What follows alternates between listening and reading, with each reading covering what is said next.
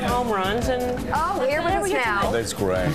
Mr. Well, I was calling him perfect, and Joe disagreed. But we'll talk about that. No, she said you were too perfect. You're I perfect. said John Thune can never be perfect enough. Well, I don't know. I don't know. A Republican senator from South Dakota, Senator John Thune, former White House press secretary under President Clinton, and contributing editor to Vanity Fair. Dee Dee Myers back with us. Perfect as well. Absolutely fabulous is the word I use. New York Times reporter Jeremy Peter, who I've never seen in person. Peters. Jeremy, And his hair Yeah. was also perfect. perfect. Um, And then uh, Sam Stein's back at the table as well. Not perfect. it's very, very much not perfect. so let, us talk about a couple of things. First of all, we've got a senator here, but I got to go to you first because you cover the Hill for the Times. Immigration reform, we hear the Republicans on the House side are going to kill it. What do you think? Well, did you read Tom Cotton's op-ed in the Wall Street I Journal did. today? There was like I would say a 12-point list of grievances that Mm-hmm. is. You know, he's he's. I'm, I'm, I'm not being facetious. I think that illustrates how difficult it's going to be to get this through the House. Now, is it dead? Dead? You know, nothing's dead until it's until it Yeah, right, right. But there is a tough road to go. Yes, Senator, would you agree with that? Well, I think it is, Joe, but you know, I've been in several meetings this week with House Republicans, and there are a lot of House Republicans who think that, that want to legislate on this issue, that want to do something, but it's going to be tough to thread the needle, and I think you have to find that combination of people who, there are going to be a lot of people who aren't going to be for a path to citizenship, but there are people who are for legalization, Right. uh, you know, subsequent to some border security measures, and so, Will Democrats in the Senate support that? well, that's Or, or for, for Democrats in the Senate, is it about uh, is it about citizenship or nothing? Pretty much, and, and that's where if you get into a conference, that's going to be the big the big rub. But I I think that uh, in, in chatting with a lot of House Republicans, including a number of the conservatives, many of them would like to see the House act on the issue, but it is going to be difficult. And I think if they do it, they're going to have they can't do it like the Senate did. They can't do a big comprehensive bill. They're going to have to do it in pieces. And if they do some of the border security pieces first and give people something to vote for there, uh, they may be able to get uh, some legislation passed in the House. Dee Dee, would Harry Reid's Senate uh, agree to a bill that doesn't grant citizenship but provides legalization?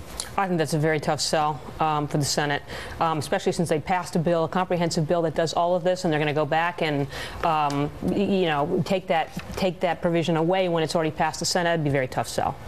Yeah. The big, the big bet right now is that uh, uh, the House will come back and they'll do something with border security and something like the DREAM Act, uh, which is sort of the pared down version of this comprehensive bill, and then you know walk home and say, well, we did something. And you know, I wonder if that's going to be good enough for uh, pro-reform advocates at this juncture. Probably not. They're not going to want to split it, Yeah. right? They're not going to want to take give just one group of people that the, the path to citizenship without, you know, dealing with the Sure. question more broadly. Yeah. That's But, but, but Jeremy, if if the Democrats uh, face the choice of nothing or passing the Dream Act, do they really walk away from the Dream Act? Uh, It's, it's a good question. I mean, there is such a cry, as Senator Thune said, for uh, you know a path to citizenship from Democrats in the Senate. I think there's an interesting split happening right now among conservatives in the House, which is that you're hearing more and more of them, some of the most conservative members, like Bob Goodlatte of Virginia, saying that they want the children taken care of, the people who were Yeah. brought here unwittingly through no fault of their own. Right. And that is uh, that is the kind of compassionate conservatism, if you will, that I think a lot of Republicans are saying. Okay, well, this is something we can handle, but legalization for the others, no way. You know, it might be that you need to wait to the next Congress to do something about this, because that's when a presidential election actually is in focus, as opposed to just a off uh, midterm election when it's just members. You could say of that about a lot of things. But does that make it easier or harder? Well, it makes it it easier makes for it. Republicans because the Republican nominee who's running for national office isn't going to be bogged down uh, with an anti-immigration uh, platform. I think if anything moves in the House, it's going to have to be, they're going to have to come up with a strategy that, where they can pass it with Republican votes because I don't think they'll get help from Democrats if they do these things piecemeal and it doesn't have the path to citizenship. Uh, now, there may be some Democrats in some states that would vote for elements of, a, of an immigration bill, but I think the Republicans are going to have to think about as they pursue this and move forward, how do we get 218 Republicans to vote for this?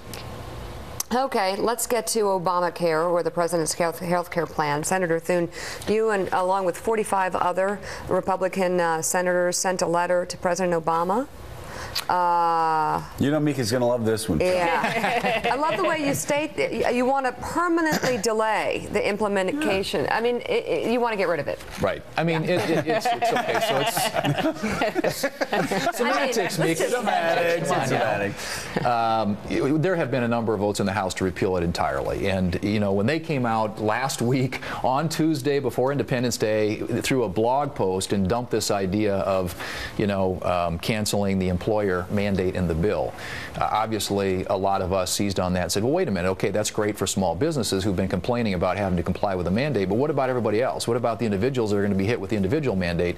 You know, let's, let's delay this, at least delay it uh, as they have proposed for a year, but of course most of us would love to see it delayed permanently. Well, I mean, the, the individual, you even, you even have progressives that are talking about getting rid of the mandate, getting rid of the employer mandate. This is actually something that could happen Yeah, on a permanent basis because liberals have always thought, a lot of liberals and think tanks have always thought it was a bad idea. Well, and if you think about how it works operationally, Joe, it's 50 employees or more. You have Right. employers have to offer plans that are government approved, and and then you, in, in full time is defined as 30 or more hours. So you've got more and more people that are being pushed into part-time jobs because employers don't want to have to deal with a mandate. So as a practical matter, it was becoming it was hurting jobs, it was hurting the economy, and I think the administration recognized it's expensive, it's complicated. They were hearing from businesses, and they decided to delay it. And Dee Myers, and I, I was saying this in real time during the debate, I had so many small business owners in Pensacola and across my, my district come up to me while this debate was going on saying, and just saying this, you know, a couple years ago, I'm going to have to take my best employees, I'm going to have to knock them down to under 30 hours. I'm going to probably lose them because I don't have a big enough margin to be able to afford this. And it seems that the White House heard that so much, so often from so many small business owners that they realized this really was, as the Republicans have been saying, going to cause a real drain on the economy. Yeah, well, the vast majority of small businesses with 50 plus employees already uh, provide insurance, and so the no- notion that all of a sudden this creates some completely new paradigm is is, is, is not is not true. There are some that don't, and, and, and it is complicated. Um, but I think you know the White House has always recognized um, that the devil's in the details with this, right? And this is sort of now they're living in that space where this is an, a very complicated bill, um, one that was you know there's a lot of compromises in getting it done, and now they're in the phase of trying to pass the regs, write the regs, create the exchanges and stuff for the individuals, and, and make it operational. And they understand that if they don't get it right, um, the bill can't, you know, the, the law in the long term will be much more difficult for it to succeed. And so this is a, you know, this is where the rubber meets the road for I them. think so, and I, I, I understand the debate over the employer mandate. Even uh, the New York Times had a piece on a restaurant that would love just to see what you're trying to make happen happen. Having said that, are there parts of the John bill, Thune, New York Senator, Times senator. uh, are there parts of the bill that you think We're are glad to have good for America? You, you guys clip that part right there. Yeah, Senator, are there parts of the bill that you think are good for this country? Well, I mean, I think there are things that have to be addressed in healthcare that are problems, and and you you've talked about them, Mika. I think you have to deal with pre-existing conditions for sure. Uh, you know, most insurance companies have already agreed to cover kids up to 26, which is something that was required in the bill. Um, obviously, there are a lot of people who don't have access to healthcare coverage in this country who who need to have access to it, and so And do you think they should? Sure, yeah, absolutely. And, and, and- but we just decide, our view is that you didn't need a massive 2,700 page bill and 20 some thousand pages of regulations to deal with some of these discrete problems in the healthcare system. We could have dealt with those in an entirely different way, and that's the way we'd like to see this approach. When you do something this big and this massive that affects one sixth of the American economy, uh, I think you really create a lot of problems, and that's what the administration Well, I have a question finding. on that because at some point you have to recognize that the law of the land is the law of the land. And what it seems to me from uh, the big macro perspective is that Republicans are, uh, by and large, trying to hurt the implementation of the law, then turning around and saying the law's not working. So a perfect example of this is the NFL trying to help uh, facilitate uh, uh, the, the exchanges, making sure the information was out there. Why was it so important to you guys to make sure that the NFL didn't help facilitate the exchanges when you knew that part of what helps the exchanges work is getting people signed up? Right. Well, and we, I, our view on this, Sam, is that anything we can do to delay the implementation of this, to insulate people from the impacts of this, what we view to be the harmful impacts of it, uh, is a good thing. And there was another thing that was sort of underreported this last week with regard to this whole subject, and that is that the administration is going to allow piece- people to self-report their income when it comes to eligibility for subsidies and the exchanges. And I mean, that's that, it's it's astounding, really, that you would allow people to come in and say, well, "This is what my income, and if I can get a, a bigger subsidy by having this am- this amount of income versus this amount, uh, that they're going to allow that self-reporting." And I think that's can just you that's a recipe for work fraud. on the IRS for us? Really yeah, good luck with that. I'd appreciate that. But I guess my Senator, question I is, have- why not work with the why not work with the administration to make the law better, as and recognize that it is the law of the land, rather than just say we're only going to work on it if it's required. Well, and I think in, in the end, I mean, we recognize that there are things about this that if it could be done in rifle shots, it might be able to fix it. I mean, the, the medical device tax had a big vote in the House, had a big vote in the Senate to repeal that. That's already, if there's a great op-ed in the, um, I think it was the New York Times or Wall Street Journal earlier this week that talked about how that's impacting innovation.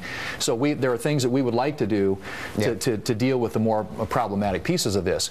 But if they're going to come out and say, we're going to delay the implementation of a major key component, uh, our argument is let's delay this thing and, and let's get to a point, hopefully, in a future Congress, maybe a future presidency, where we can do this the right way. Well, Senator, one of the things that I hear some of your Republican colleagues slightly concerned about is, you know, while you were, uh, you know, a lot of you were very thrilled to hear that this president was delaying a key part of this, you risk sounding like I told you so if you say, you know, this is failing. See, we knew this was going to happen all along. So I wonder if you're concerned that you might be, you know, dancing on the grave a little bit too gleefully.